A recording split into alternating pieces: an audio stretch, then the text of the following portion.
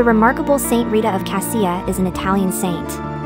Her feast day is celebrated May 22nd. She died on that day in 1457. She is the patroness of those in need and for the hopeless and even the most impossible cases. In her lifetime, Margherita was a daughter, wife, mother, widow, nun, and mystic. Her name means pearl. As a nun in the Augustinian convent, in the year 1442 on Good Friday, St. Rita received a profound spiritual experience. Through her own willingness, she accepted a small suffering of Christ on the cross, a thorn penetrating from her forehead, ever present for the remaining 15 years of her life. Her burial was delayed because so many believers made the journey to gaze upon her gentle face. Soon, it became evident that her body remained in perfect condition after death. Go to saintritashrine.org for all the novena prayers and details.